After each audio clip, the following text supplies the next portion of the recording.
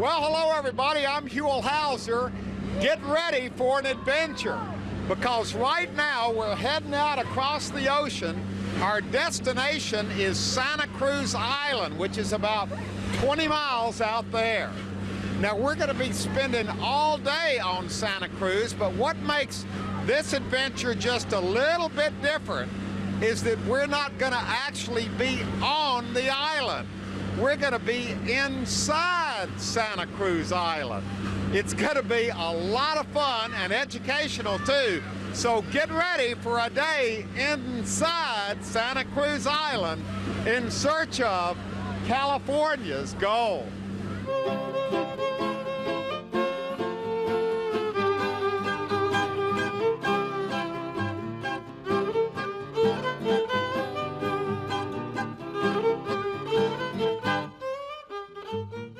We got over to Santa Cruz Island on a catamaran operated by Island Packers out of Ventura.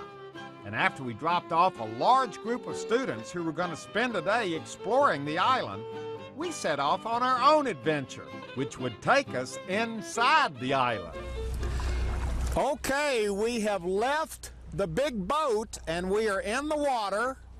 Here's Santa Cruz Island in front of us, and Garrett, this is the you know, I said we were going to be visiting the island, but we weren't going to be on the island. We were going to be inside the island.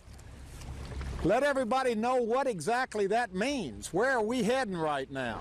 Huell, we're heading into one of the 120 sea caves on Santa Cruz Island. We are on the north side of Santa Cruz.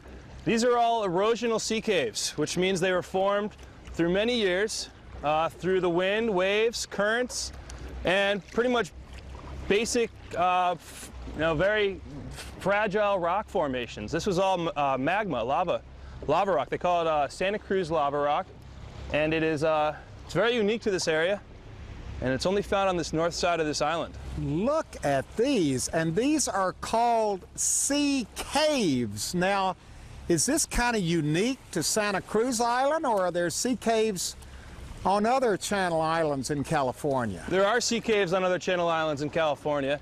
Santa Cruz holds a very large population of sea caves, and as well Anacapa Island to our east holds a very large population of sea caves. Boy, look at this when you come up under and in this thing. This, are we going to go in here? You're right, you got it, Huell. We're heading straight towards that little hole.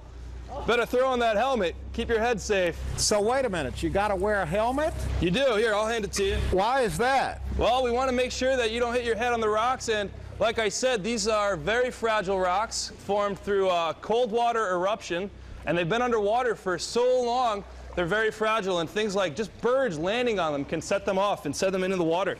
Now, is this considered a big cave? Is this, how does this compare to the other 119 caves? Uh, well, each one of them has its own little special beauty, and uh, every one of them is big, every one of them is small. They just all have their own, their own special characteristics. This one here, as you look straight up, you can see a little bit of crack in the ceiling. Some of these were created by uh, the separation of the rock, uh, also fueled by uh, aquifers or springs dripping down into this crack. Boy, this is. And does this go? Oh, look, there's light at the end of the cave. Ha! So now, this just cuts right through one of the one of the rocks on the island. Yeah, this is uh, we're in Coche Point area on the north side of Santa Cruz, towards the east end. Look at this. Oh, this is great. Hey, you see that water dripping down from the ceiling up here? That's actual natural spring water, and that's, like I said, that's part of the reason these caves are formed. Look at the color of the water when the light hits it. Oh, this is, oh, this is beautiful. Okay, we're out of one cave in this kind of, what is this, like a cove back in here?